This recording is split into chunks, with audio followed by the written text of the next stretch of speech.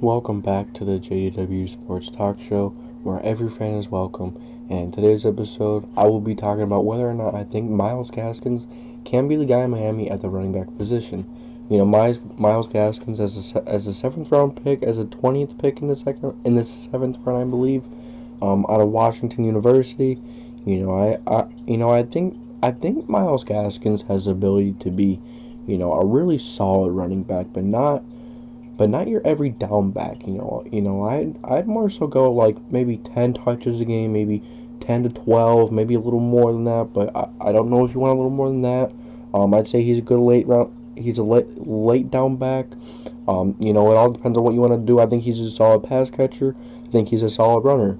But I, I don't think he's a great runner, and, and I don't think he's a great pass catcher. But he definitely, definitely has the ability to make big plays. You know, as we've seen you know, but he but he hasn't converted on a lot of his opportunities, and you know he he definitely needs to improve on some things.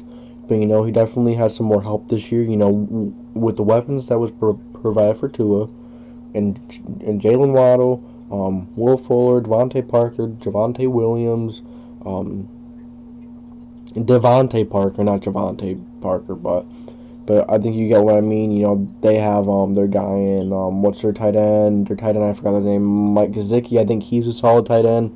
Um, they did draft a guy in Hunter Long, and and you know Mike Gesicki is a half decent running run blocking tight end.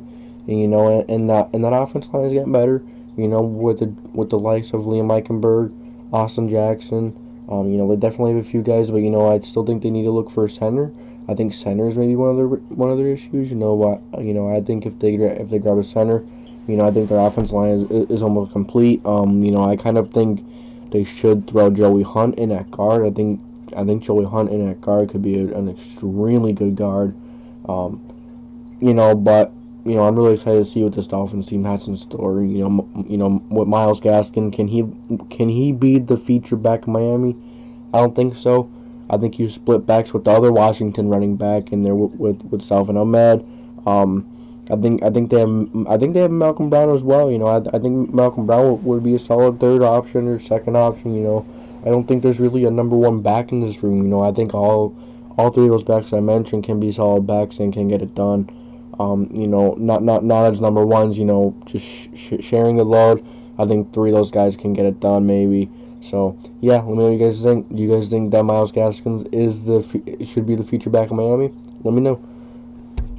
And if you enjoy watching, make sure to leave a like and subscribe. If you did enjoy, um, make sure to turn on that bell that bell notification. And as always, I'll catch you later.